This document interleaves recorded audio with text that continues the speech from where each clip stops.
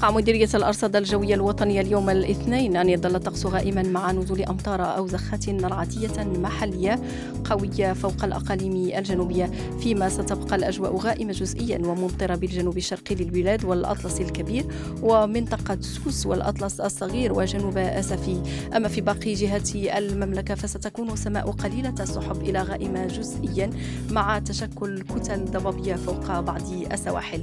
بالنسبة للرياح ستهب ضعيفة إلى معتدلة القوة من القطاع الجنوبي بالأقاليم الجنوبية.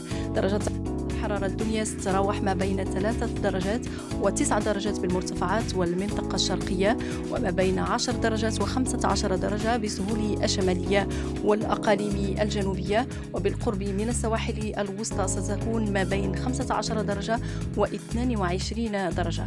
أما درجة الحرارة العليا فستتأرجح ما بين 13 درجة و 18 درجة بالمرتفعات وما بين 19 درجة و 25 درجة بالمنطقة الشرقية وسوس والسواحل الوسطى والجنوبية وكذا جنوب الأقاليم الجنوبية وستكون ما بين 25 و 30 درجة بسهول المتواجدة غرب مرتفعات الأطلس